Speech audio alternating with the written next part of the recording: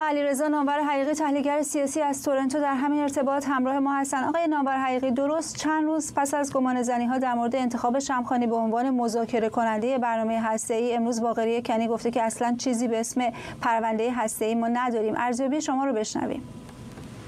با سلام خدمت شما بینندگان محترم. ببینید مقصود آقای باقری این است که برداشتی که من داشتم با تجربه این سالهایی که ازش خبرنگارا می‌کردن این است که اینی که یه بخ پرونده به طور کلی به آقای شمخانی واگذار بشه همچه اتفاقی نیفتاده.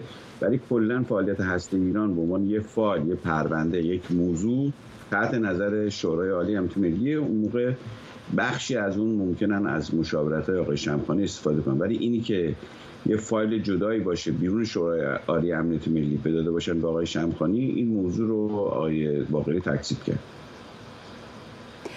آقای نامور حقیقی حدود چهل روز باقی مونده تا انتخاب یک رئیس دولت جدید. اصولا فکر می‌کنین تغییر دولت تغییری در سیاست ها در مورد برنامه هسته جمهوری اسلامی ایجاد بشه؟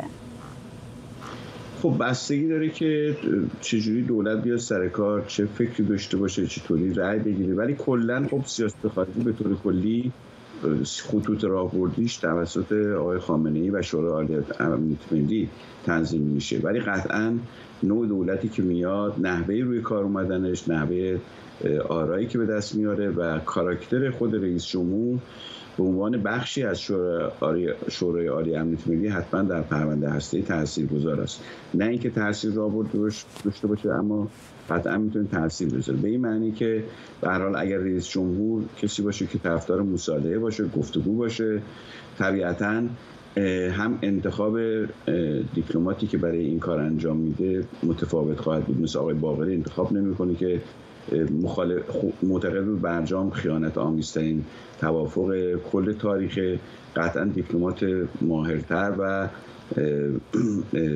کسی با قابلیت های بیشتر انتخاب می‌کنه. دوم به هر حال در روند عمومی گفتاری کشور در شورای عالی امنیت ملی چون رئیس جمهور دبیر شورا رئیس شورای امنیت ملی کشور هست اونجا هم می‌تونه تاثیرگذار باشه. و اصولا نوع آرا و نوع جمعیتی که بهش رأی میدن و نوع گفتگو مطالبی که در انتخابات تاثیر می‌ذاره قطعا کره حاکمیت بهش توجه می‌کنه. ولی اما به معنی این نیست که کلیت نقشه عوض میشه. مضافم برای که من فکر می‌کنم الان خود حکومتم به خاطر چالش های اقتصادی بحران های مسائل درون بلوک خودت از جمله جانشینی مایل به یک مدیریت تنش و یک توافق پایدار هسته است. ولی خب اونا هم منتظرن تا انتخابات آمریکا بتونن چطوری اتفاق خواهد افتاد. اون موقع هست که میشه در مورد نتایج صحبت کرد. اگر دولت بایدن بیاد سر کار خب طبیعتا اگه دولتی که سر کار میاد تو ایران رادیکال نباشه و کل حکومت هم بخواد توافق کنه این مسئله سرعت می‌گیره. اما اگر دولتی که عوض می‌خوام. فکر می‌کنین چقدر اصولا برای کشورهای غربی مهم هستش که نتیجه انتخابات ریاست جمهوری در ایران چه باشه؟ برای برای برای کی فهمیدید برای برای کشورهای غربی. مهمه براشون که چه کسی رئیس جمهور بشه. بله یکی نحوه برگزاری انتخابات یعنی اگر انتخابات رقابتی باشه و اونا احساس کنن آرای مردم آرای واقعیه. حتما تو ملاحظاتشون تاثیر داره. دوم کاراکتر انتخاب کاراکتر کسی که انتخابات میشه شعار که میده افرادی که دورشن.